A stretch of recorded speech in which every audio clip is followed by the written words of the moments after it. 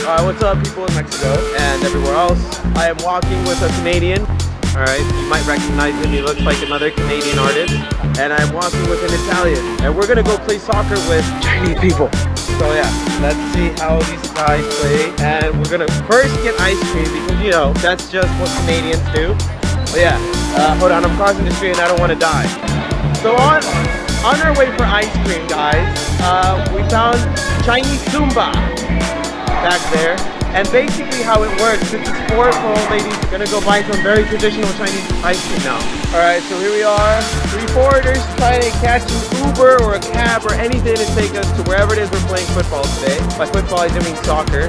And uh, yeah, let's see how this goes. Alright guys, so we're here. We don't know where exactly. And uh, I guess it, wherever it is that we're playing is going to be indoors. So this should. There's uh, Mr. Canada. Let's see what this looks like.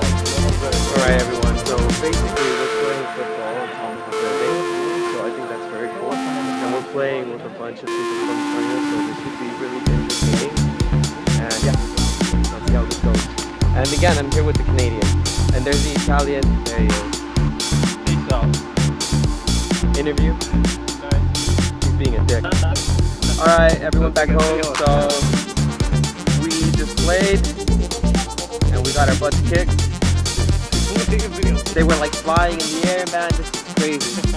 That guy, he's like the next Ronaldinho. And he's just Canadian. Don't, don't pay attention.